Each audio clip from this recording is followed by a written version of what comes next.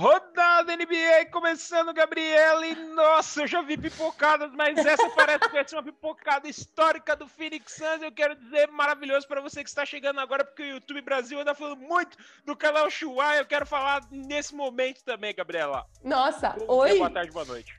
Oi, YouTube Brasil, tudo bom? Tá passada? É o canal Chua.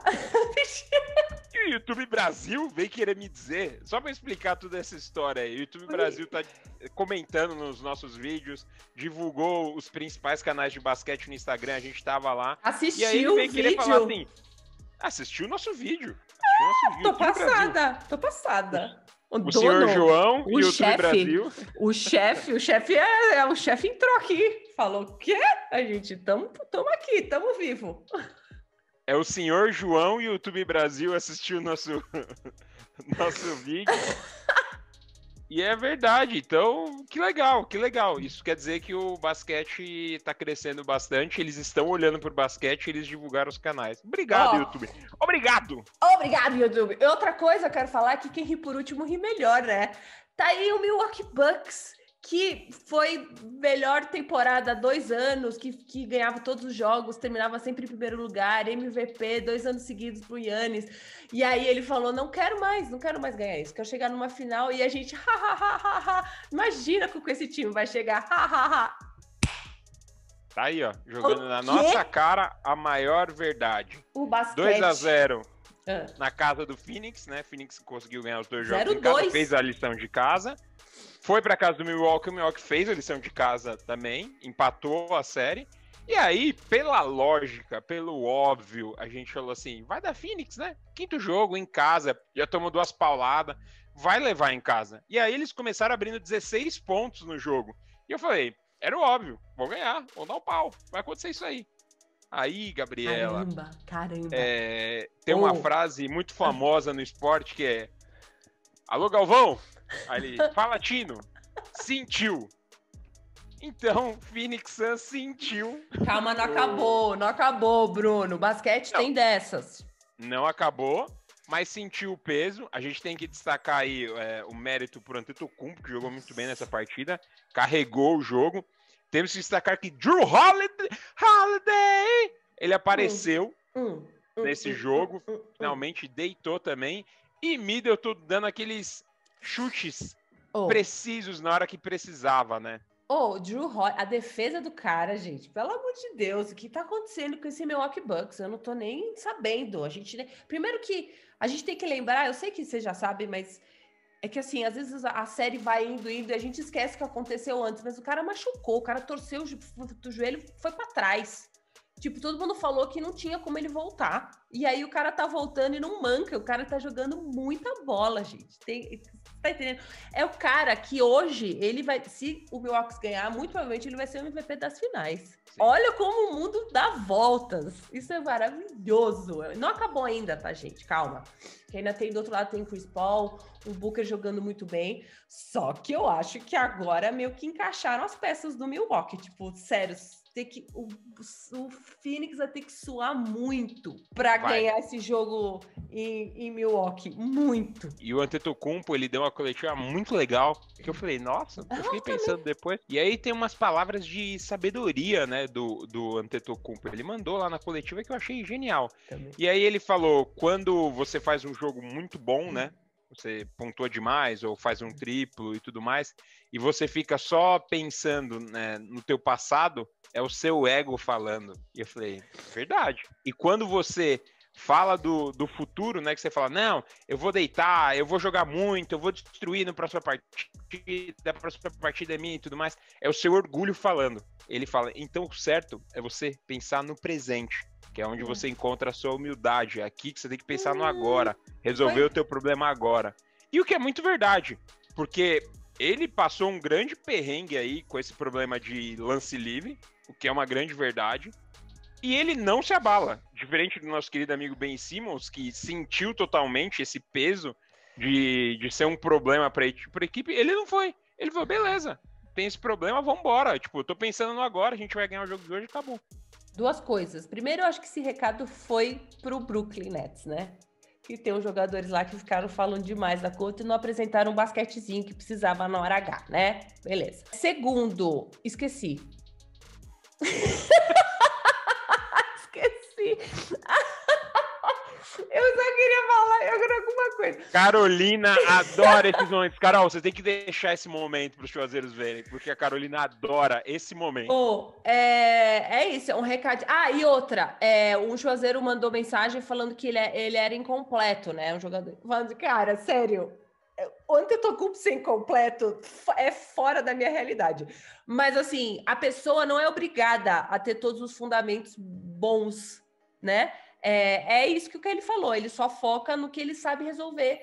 E tá tudo bem, porque ele resolve de outras formas, entendeu? E, e ele não sentiu da forma que, né, como o Bruno colocou, bem Simon sente, né? Deixa eu só fazer uma conta aqui. O jogador mais incompleto, né?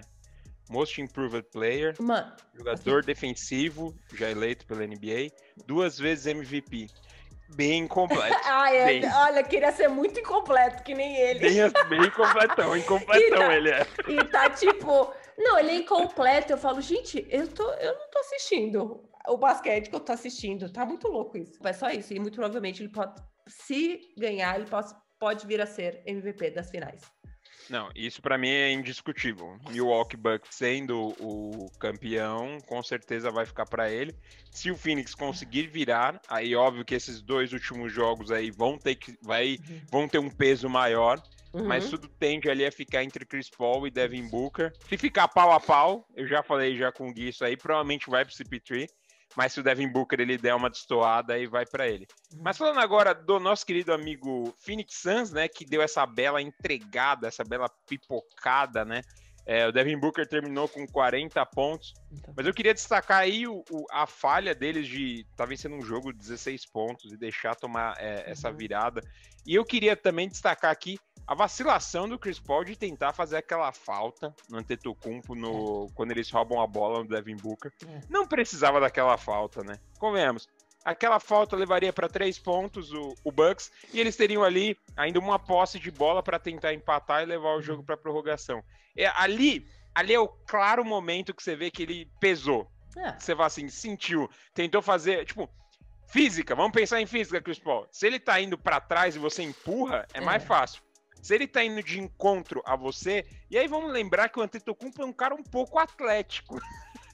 Um você pouquinho. não vai conseguir bater naquela massa e empurrar ele. Exato. Ele vai bater, ele vai te carregar. E foi o que aconteceu. Mas é isso, mas eu acho que ainda é, o Chris Paul é um dos jogadores que você precisa manter em campo mesmo não, não dando o melhor. Que eu acho que esses dois jogos ele meio que não foi o Chris Paul que a gente tá acostumado a ver. Mas eu acho que ainda tem jogo.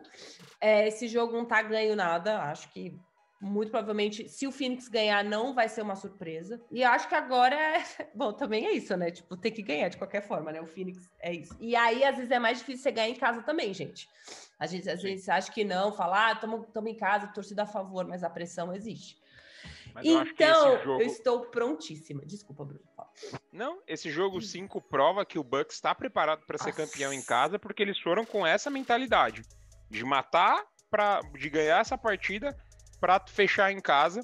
Então, assim, o Bucks é o favoritaço agora. Não tem, é indiscutível isso. O Phoenix vai ter que ralar mesmo lá para ganhar, vai ter que mostrar ali personalidade e vai ter que ter cabeça para conseguir dominar esse jogo, porque se começar a tomar 10 pontos de vantagem, vai ter que ter cabeça para não, não se perder ali no, na, na, partida. E assim, eu fico triste porque eu gosto muito do Chris Paul e eu queria que o Chris Paul ganhe, tivesse o seu título Amém. da NBA e eu acho que essa é uma não sei se ele vai ter outra oportunidade dessa na vida, na carreira dele. Ele já tá no fim de carreira, não sei se ele vai ter. Mas, por outro lado, eu gosto muito do Antetokounmpo também, e eu acho que o Antetokounmpo merece também ter um título da NBA, então eu não vou ficar tão, tão chateado assim. É que se o Chris Paul ganhasse o Antetokounmpo, ia ter outras oportunidades, é, né? É verdade, não vai ter tanto. É verdade. Mas basquete é a vida, né? Às vezes a vida não vai te dar uma outra oportunidade. Rala, tá rala, rala e às vezes não ganha. Ó o Carmelo Anthony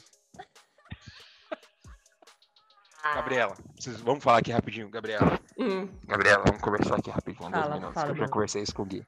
Fala, Existe ainda a chance de Damian Lillard ir pro Golden State, Gabriela. Bruno, ele falou que não vai. Ele falou que vai. não, isso tá tudo vai. errado. Oh, calma que, calma que o LeBron vai ligar para ele ainda, bro. Comentaram, comentaram. Eu não lembro qual jogador que comentou que lá na seleção americana tá rolando uma lobbyzeira lá dentro, é lobby pra tudo quanto é lado. Todo mundo querendo puxar o jogador. Você imagina o Draymond Green tá lá e puxa o Demelina e fala, Demelina. Nossa, com Clay Thompson, meu... com Clay Thompson voltando, malandro. Olha só. O Draymond Green vai falar, Demelina, tô aqui no quarto 502. Escolhi um vinho aqui, velho. Vinho, um vinho aqui que eu queria tomar há muito tempo. Um vinho que custa caro pra caramba. Não quer vir aqui tomar comigo, não? Vem aqui, vamos trocar pra ideia. Você. Veja, vou abrir ele pra você, especialmente pra você. Das vinícolas de São Francisco. Sei lá.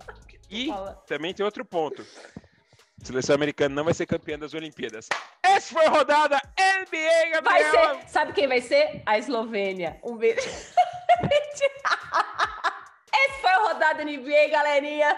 Pode ter sido o penúltimo, a gente não sabe. Tudo pode acontecer. Penúltimo dessa temporada. Dessa temporada. Caramba, a, a Gabriela fez um, um, comentário muito importante essa semana no nosso grupo de WhatsApp. Ah. Ela falou: foram mais de 50 rodadas. Chuzeiros, nós passamos uma temporada aí de pandemia aí, sem se ver, sem gravar juntos. Estamos aí na luta que tá acabando, na tá na reta final. Mais uma temporada de, de e Mais, e mais uma rodada de 20 minutos. E mais uma rodada de 20 minutos que Carolina adora quando junta um eu e Gabriela. um beijo, Carolina. Um beijo.